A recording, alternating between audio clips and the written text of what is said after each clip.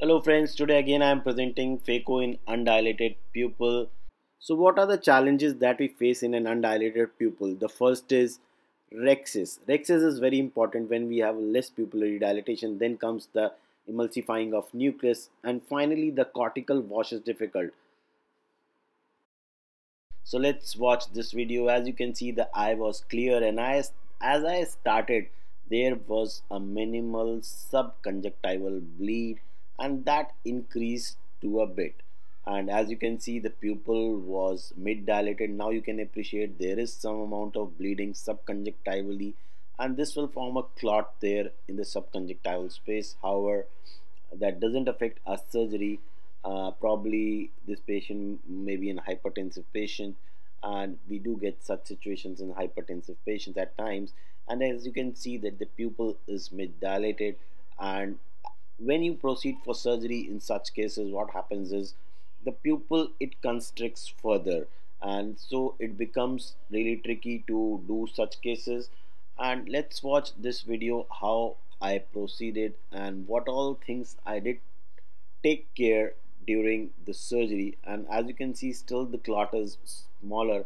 And it will become bigger now. See the bleed has started more and that bleed will now extend a little bit more in the subconjunctival space.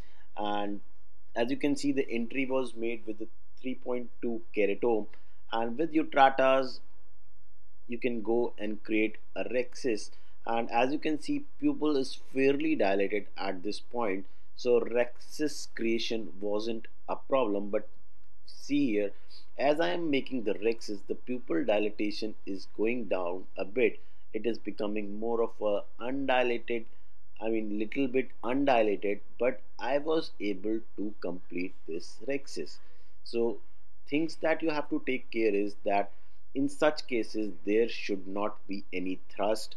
And if the pupil is undilated just loosen your speculum a bit. And if you suspect that the case would be undilated intraoperatively. I mean the dilatation won't be much so give preoperatively acetazolamide and once the rhexis is done once the hydro is done do not manipulate too much on dialing.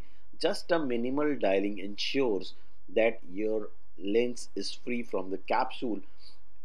And now you can see that the pupillary dilatation is not that great but still you have done rhexis so direct chop in such cases may be a good deal. And as you can see I just buried my tip into the lens matter.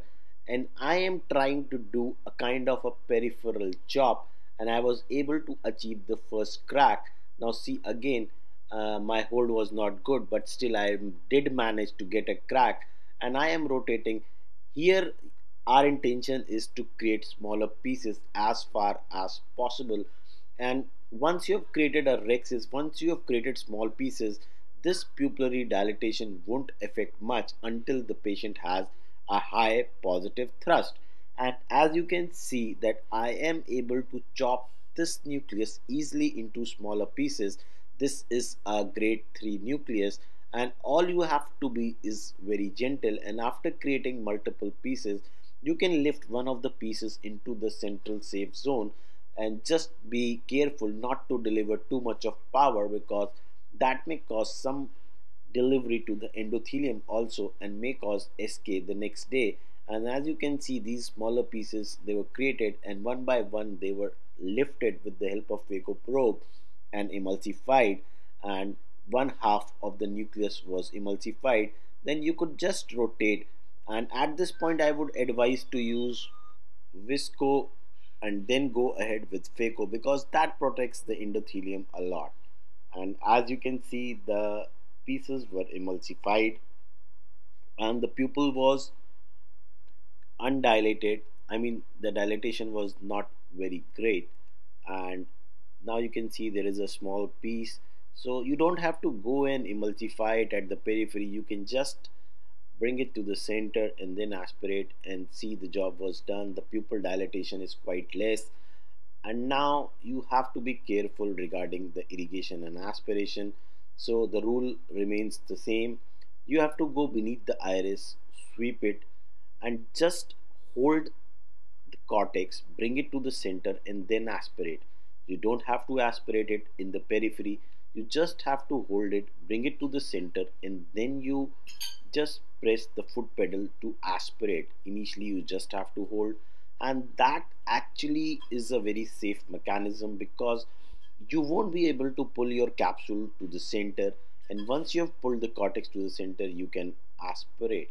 And see this mishap I had during injection of IOL however I was quite safe. The haptics are still attached to the optics and it takes sometimes few seconds for this haptic to get released and all you have to do is wait patiently or you can use a dialer for repositing and uh, helping that haptic to unfold and uh, with the flow of fluid with the irrigation in place it takes few seconds for that haptic to unfold and see the IOL was well in bag and in center and the case was done in this undilated pupil and finally hydro of the wounds was done. Thank you for watching this video.